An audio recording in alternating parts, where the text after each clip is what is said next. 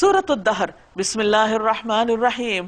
شروع اللہ کے نام سے، جو بے انتہا مہربان، نہایت رحم فرمانے والا ہے۔ حل اتا علی الانسان حین من الدہر لم یکن شیئا مذکورا۔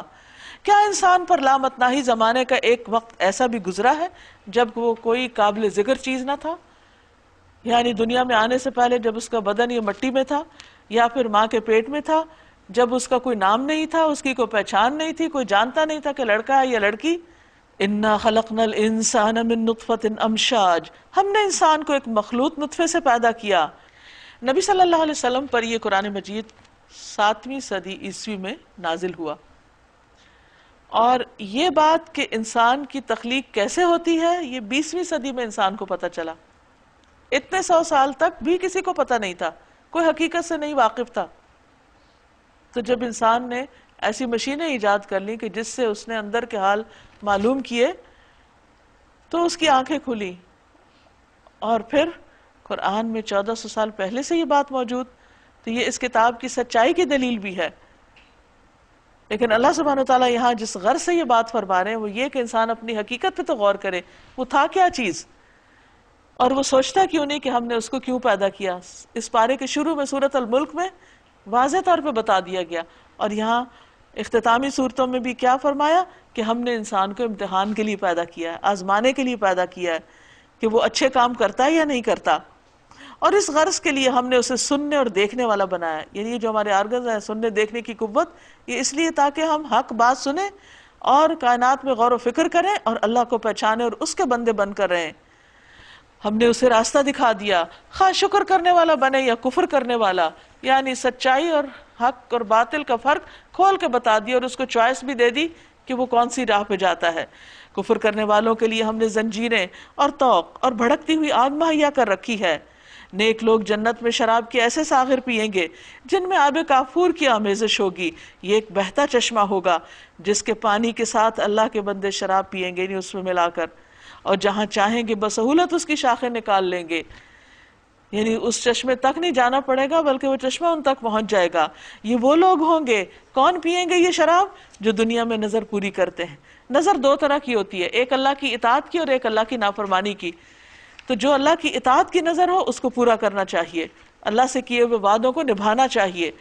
نبی صلی اللہ علیہ وسلم نے فرمایا، جس نے یہ نظر مانی ہو کہ اللہ کی اطاعت کرے گا اسے اطاعت کرنی چاہیے یعنی اپنی نظر پوری کرنی چاہیے۔ لیکن جس نے اللہ کی معصیت کے نظر مانی ہو، اسے پوری نہیں کرنی چاہیے۔ اور جس چیز میں اللہ کی نافرمانی کی بات کی گئی ہو، اس کو ترک کر دینا چاہیے۔ اور کیا کیسے ہیں یہ لوگ کہ جن کو جنت کی نعمتیں ملیں گی؟ یہ خافون یومن کا نشر مستطیرہ وہ اس دن سے ڈرتے ہیں جس کی آفت ہر طرف پھیلی ہوئی ہوگی یعنی وہ آخرت کا ڈر رکھتے ہیں اپنے دل میں۔ اور کیا کرتے ہیں؟ وَيُتْعِمُونَ الطَّعَامَ عَلَى حُبِّهِ مِسْكِينًا وَيَتِيمًا وَأَسِيرًا۔ اور اللہ کی محبت میں مسکین اور یتیم اور قیدی کو کھانا کھلاتے ہیں۔ نبی صلی اللہ علیہ وسلم نے فرمایا، جس کا خاتمہ مسکین کو اللہ کی رضا کے لیے کھانا کھلاتے ہوئے ہوا، وہ جنت میں داخل ہوگا۔ یعنی جس کا آخری کام یہ ہوا۔ اور ان سے کہتے ہیں انما نطعمکم لوجہ اللہ، لا نرید منکم جزاء ولا شکورا۔ ہم تمہیں صرف اللہ کی خاطر کھلا رہے ہیں۔ ہم تم سے نہ کوئی بدلہ چاہتے ہیں، نہ شکریہ۔ یہ ہے اللہ کی خاطر کام کرنے والے لوگوں کی صفات۔ اتنے زیادہ سیلف لیس ہو کر کام کیوں کرتے تھے؟ کیسے کرتے تھے؟ کہتے ہیں، انا نخاف من ربنا یومن عبوسا قمطریرا ہمیں تو اپنے رب سے اس دن کے عذاب کا خوف لاحق، سخت مصیبت کا انتہائی طویل دن ہوگا۔ یعنی ہمیں اس دن کا ڈر لگتا ہے، اس لیے ہم چاہتے ہیں اس کے آنے سے پہلے پہلے دنیا میں اچھے اچھے کام کر لیں تاکہ وہ دن ہمارے لیے آسان ہو جائے۔ بس اللہ تعالیٰ انہیں اس دن کے شر سے بچا لے گا اور انہیں تازگی اور سرور بخشے گا اور ان کے صبر کے بدلے انہیں جنت اور ریشمی لباس عطا کرے گا۔ وہاں وہ اونچی مسندوں پر تکیے لگائے بیٹھے ہوں گے۔ نہ انہیں دھوپ کی گرمی ستائے گی، نہ جاڑے کی ٹھنڈک، جنت کی چھاؤں پر جھکی ہوئی سایہ کر رہی ہوگی۔ اور اس کے پل ہر وقت ان کے بس میں ہوں گے کہ جس طرح چاہیں انہیں توڑ لیں۔ ان کے آگے چاندی کے برتن اور شیشے کے پیالے گردش کرائے جا رہے ہوں گے۔ شیشے بھی وہ جو چاندی کی قسم کے ہوں گے۔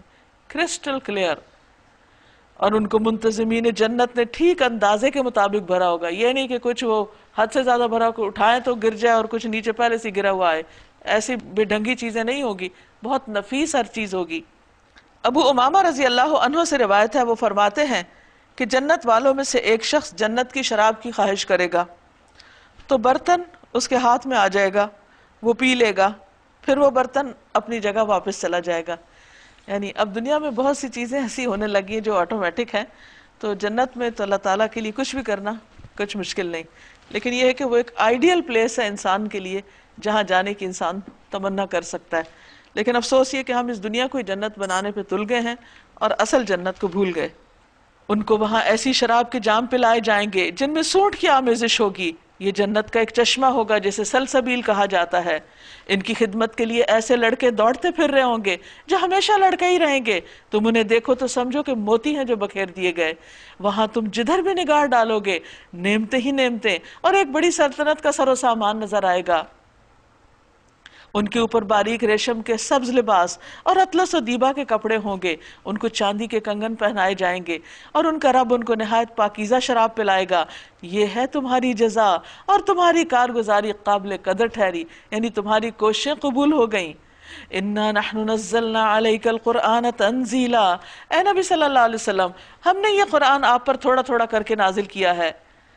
لہٰذا آپ اپنے رب کے حکم پر صبر کیجیے اور ان میں سے کسی بد عمل یا منکر حق کی بات نہ مانیے۔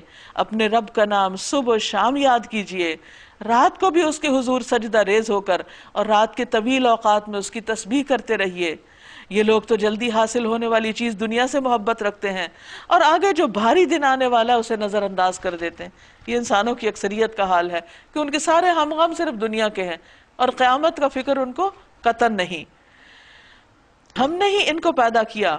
فرمایا، نحن خلقناہم وشددنا اسرہم وَإِذَا شِئْنَا بَدَّلْنَا أَمْثَالَهُمْ تَبْدِيلًا۔ ہم نے ہی ان کو پیدا کیا اور ان کے بند جوڑ مضبوط کیے یعنی گٹھے ہوئے جسم بنائے اور ہم جب چاہیں ان کی شکلوں کو بدل کے رکھ دیں۔ اور آپ دیکھیے کہ زندگی میں انسان کی شکل کتنی بار بار تبدیل بھی ہوتی رہتی ہے۔ اللہ چاہے تو اس سے بھی زیادہ اس کی انٹینسٹی بڑھا دے۔ اور کچھ سے کچھ انسان کو کر دے۔ یہ ایک نصیحت ہے۔ اب جس کا جی چاہے اپنے رب کی طرف جانے کا راستہ اختیار کر لے۔ وَمَا تَشَاءُونَ إِلَّا أَن يَشَاءَ اللَّهُ۔ اور تمہارے چاہنے سے کچھ نہیں ہوتا۔ جب تک کہ اللہ نہ چاہے۔